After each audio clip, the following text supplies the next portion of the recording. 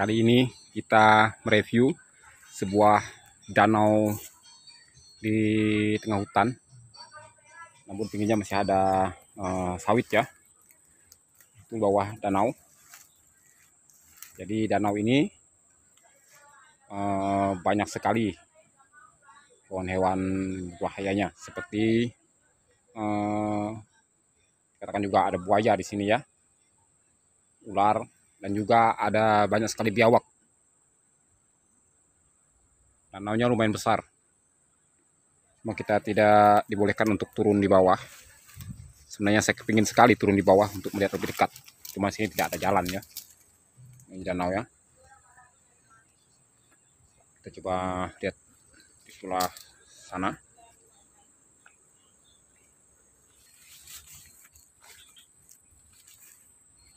Sekarang berada di atasnya.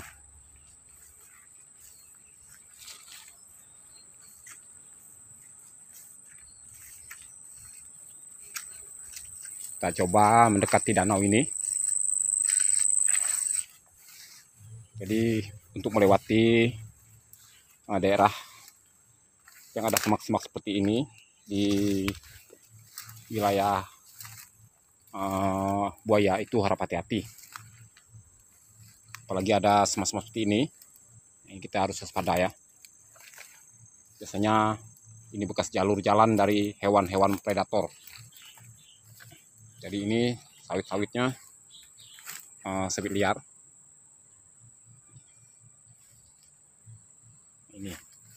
Nah ini kita bukan jalur jalan ya. Ini bekas hewan predator ini. Nah, coba mendekat ke arah sana.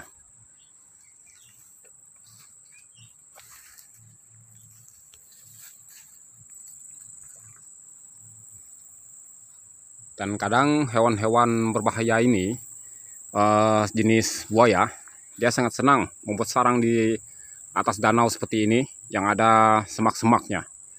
Dan juga ular ya. Kita harus waspada. Nah ini kita lihat ini danaunya. Danau ini lumayan besar. Kita coba turun di bawah coba mendekat. Dan satu hal yang saya ingatkan kegiatan ini jangan diikuti karena ini sangat berbahaya. Tidak untuk diikuti. Tapi sini saya hanya untuk mereview dan memberitahu kepada kawan-kawan ciri-ciri tempat-tempat berbahaya. Itu bekas-bekas jejak-jejak hewan-hewan uh, buas yang berada di daerah sungai ataupun danau. Nah ini kebetulan kita mereview sebuah danau ya. Dan danau ini lumayan besar, yang di atasnya sudah banyak tumbuh jenis taman bakung kalau sini. Nah ini. Ini lumpur. Lumpur ini sangat dalam. Kita coba mendekat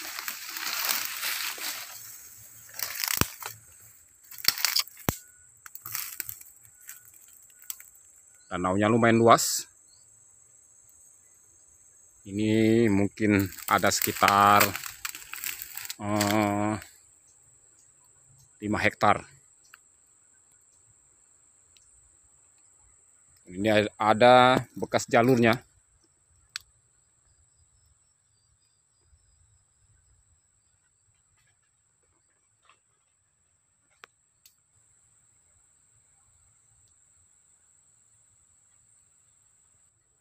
Nah ini kita temukan bekas jejaknya. Artinya air ini keruh. Dan ini artinya bekas hewan. Jadi kita sini belum tahu ya apakah ini buaya ataupun hewan lainnya. Seperti ini keruh. Dan di situ juga ada. Nah ini ini bekas jalur lewatnya untuk naik di atas. Biasanya uh, hewan predator ini membuat sarang di atas ya. Jadi kita harus berhati-hati.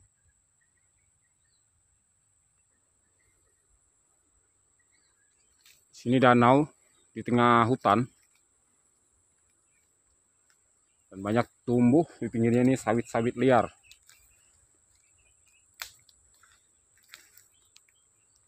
Kalau kita berada di tempat ini kita perlu melihat eh, tempat-tempat uh, yang kira-kira ada bekas jejak-jejaknya itu harap dihindari. Kita akan coba susuri tempat ini. Ini ini bekas jalur lewatnya ini sudah lama ini. Nah tuh. Jadi tumbuhan bakung ini patah-patah. Itu kan bekas dilewati hewan predator besar. Dan itu juga coba pergi ke arah sana melihat tempat di sebelahnya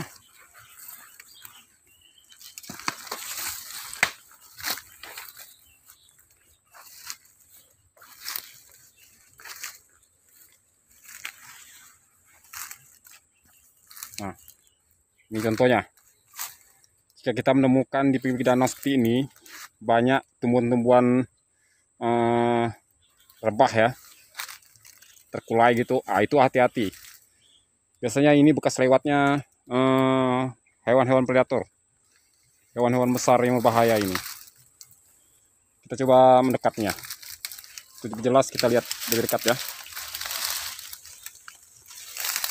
Nah, Nah ini dia bentuknya. Nah ini daun-daun ini patah-patah. Nah ini sampai di sana ya. Ini bekas jalur lewatnya. Menemukan tempat seperti ini di pinggir danau itu harap dihindari, jangan terlalu dekat. Dan satu kali lagi saya ingatkan kegiatan ini jangan diikuti. Ini sangat berbahaya.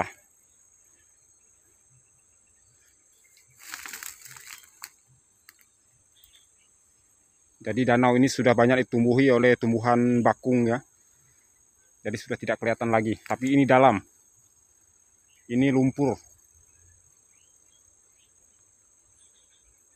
Dan biasanya hewan predator ini jika ingin bertelur atau membuat sarangnya, dia akan naik ya. Naik melalui jalan seperti ini. Dan e, menuju di atas. Dan di atas inilah ya membuat sarang terutama di semak-semak nah, itu kita harus hati-hati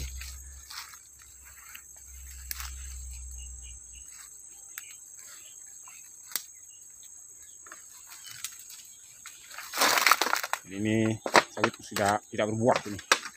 Ini sawit-sawit lokal ini. Nah ini. Kita temukan jejaknya. Ini buka, udah lama ini. Nah, ini bekas cakarannya. Ya menuju di sana di atas. Di bekas cakarannya.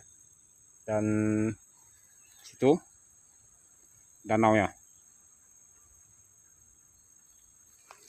ini kita lihat kita ikuti jalurnya.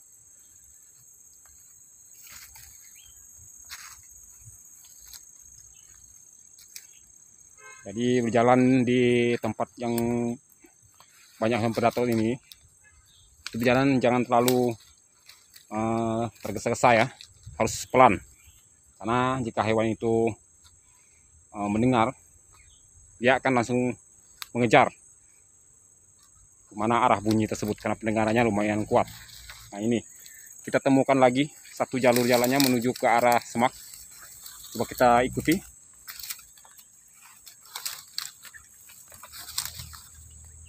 Nah ini menuju ke arah semak. Nah itu dia. Menuju ke arah semak. Nah ini banyak sekali tumbuhan-tumbuhan yang uh, rebah ya ini menandakan tempat ini kasih lewati hewan predator. Nah ini dia.